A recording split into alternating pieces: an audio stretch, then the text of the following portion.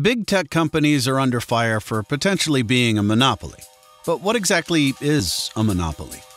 Hint, it's not good for consumers, and we're not talking about a fast food scratch off game. In economics, a monopoly occurs when a company is so large that it controls the supply of a certain product or service. When a company holds too much power over a specific market, they can unfairly hike prices because competition is non existent. You can also say goodbye to innovation, as the incentive to improve a product or service disappears.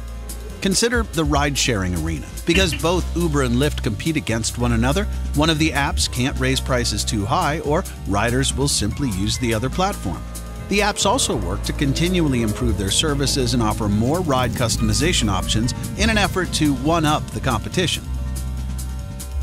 People also have the option to take regular cabs, public transportation, or walk if Uber or Lyft raises their prices. Companies with monopolies can also use their power in the market to prevent competition. For example, Amazon, Apple, and Google hold tremendous power when it comes to apps. If those three tech giants refuse to allow their services to be used, it can kill an upstart.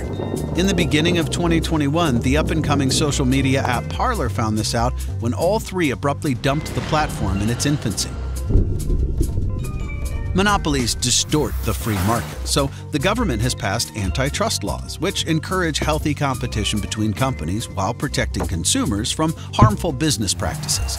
For example, in 1982, AT&T was found to be in violation of US antitrust laws because it was the only supplier of telephone services in the US.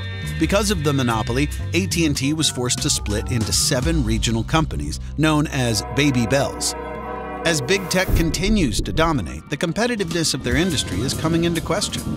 Antitrust litigation, therefore, could be on the horizon. After all, a healthy free market economy is good for everyone. To learn more about the free market, visit informationstation.org.